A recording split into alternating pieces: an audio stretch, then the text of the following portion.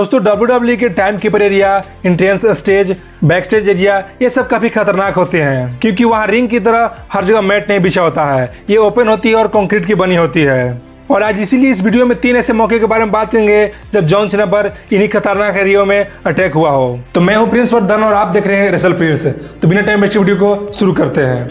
दोस्तों 20 अप्रैल 2015 के Raw episode में जॉन सिन्हा अपने यूनाइटेड स्टेट टाइटल को डिफेंड करके आ रहे होते हैं। और आने के बाद उनसे बैक स्टेज इंटरव्यू हो रहा होता है। और जॉन सिन्हा जैसे इंटरव्यू देना स्टार्ट करते हैं, उतने में पीछे से यूसेफ आकर उन पर अटैक कर देते हैं। यूसेफ के हाथों में स्टील की चेन थी और जॉन सिन्हा बैक स्टेज ही गिर जाते हैं। और उसे उसी चेन को जॉन सिन्हा के फेस पर लगाकर अपना सबमिशन होल्ड लगा देते हैं। और उसी चेन से काफ़ी देर तक जॉन सिन्हा को हट करते हैं। उसके बाद रेफरी आकर उनको बचाते हैं। और जॉन सिन्हा फेस को पकड़े हुए वहीं पड़े रहते हैं। दोस्तों जॉन सिन्हा और रेटेड सुपरस्टार वर्ल्ड टाइटल के लिए बैक क्लैश दो हज़ार नौ में लास्ट मैन स्टैंडिंग मैच में भिड़े थे। और ये दोनों रेसलर उस मैच में एक दूसरे को काफ़ी डोमिनेट करते हैं। और फाइट करते करते वो बैक स्टेज एरिया में चले जाते हैं। और वहाँ पर भी वो बहुत ब्रुटली तरीके से फाइट करते हैं।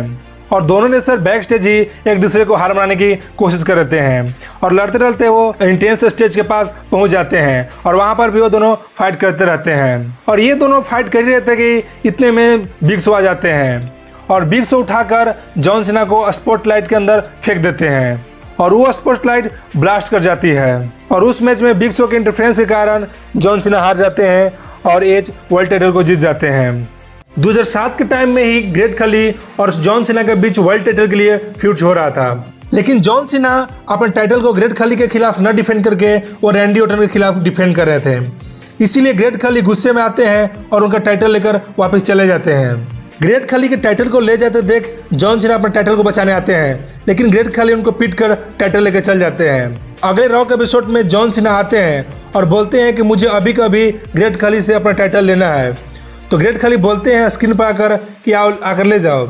जब John Cena back stage great Khali से अपना टाइटल वापस ले जाते हैं तो ग्रेट खाली का दिमाग सटक देता है और जॉन सिन्हा को पीटने लगते हैं। जॉन सिन्हा को उठा उठा कर दीवार पर पटक रहे थे और वहाँ रखी टेबल पर उठाकर पटकते हैं जिसे टेबल टूट जाता है। और लास्ट में ग्रेट खली जॉन सिन्हा के गला दबाने लगते हैं और गला दबाकर दीवार पर उठा लेते हैं। काफ़ी देर गला दबाने के बाद ग्रेट खली जॉन सिन्हा को छोड़कर चले जाते हैं। तो ऐसे इंटरेस्टिंग वीडियो के लिए लाइक शेयर सब्सक्राइब कीजिए हमारे चैनल को। मिलते हैं अगली वीडियो में।